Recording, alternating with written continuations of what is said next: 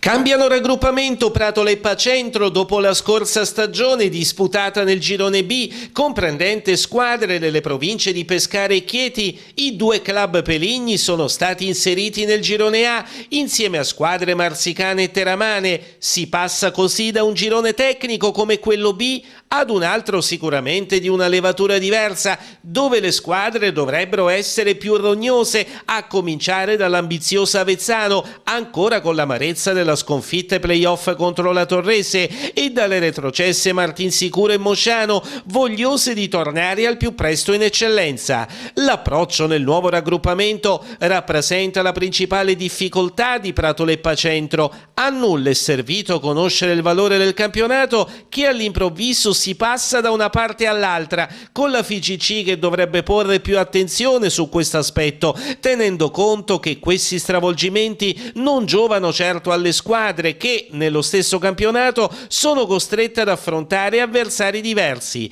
Questo il girone al completo che si avvale delle ripescate Cologna, Pontevomano e Valle del Gran Sasso. Ecco le 18 formazioni: Avezzano, Balsorano, Castello 2000, Cologna, Atria, Giaguar Angizia Luco, Martinsicuro, Mosciano, Mutignano, Notaresco, Pacentro, Paterno, Pontevomano, Pratola, Real Carsoli, Santomero Palmense, Tossicia e Valle del Gran Sasso. Il lavoro dovrà essere ispirato alle caratteristiche tecniche del girone A. Il Pratola lo farà con il nuovo tecnico Roberto Di Sante che potrà valersi di sette nuovi innesti, il portiere Oddi e l'attaccante d'Andrea Del Raiano, il centrocampista Savese Dal Goriano, dal Pacentro i centrocampisti centrocampisti Cucurullo e Liberatore, il difensore Campanella dal Castel di Sangro e il difensore di Bacco dalla Valle Peligna. Il Pratola che non ha ancora scelto il nuovo tecnico, dovrebbe essere comunque Mario Pulsone, si è rinforzato con il centrocampista Vitone dal Pratola,